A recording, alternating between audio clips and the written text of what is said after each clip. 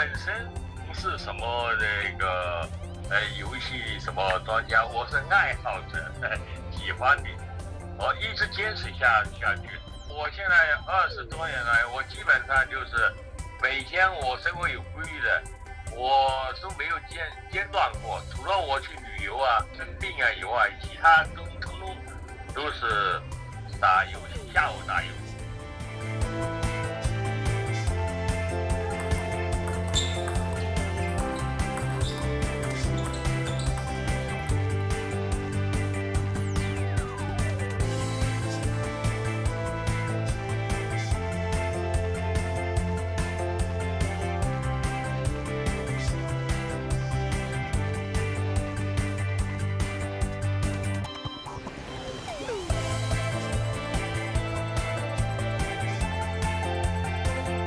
打了以后啊，对我的启示啊有很多，从中间得到一些体会。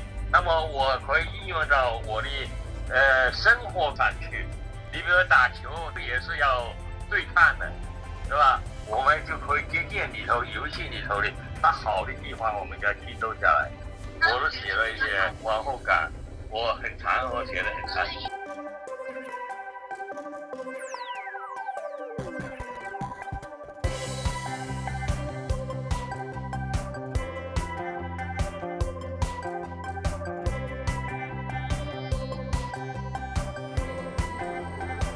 我们全家人都挺支持外公玩游戏的，因为最起码在退休以后有一个呃相对比较健康的爱好嘛。我的感受就希望以后呃年纪大了能够拥有和外公一样的年轻的心态，能够随时接受一些新鲜的事物，有一个健康的生活身体，这是最渴望的。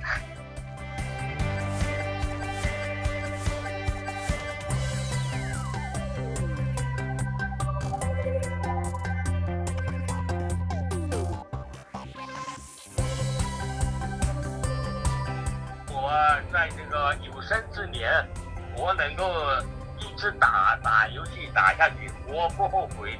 我感觉这是很很舒服的一个事情。还有一个希望这个打游戏时候啊，小孩子呢必须有度，就是你可以打打一两个小时，不能够嘛整天泡在里头，那是绝对有害自己的，有害自己身体，有害自己精神状态。我再那你我可以把它落下来停下来而停下来以后呢呃再想想呃再去转是吧？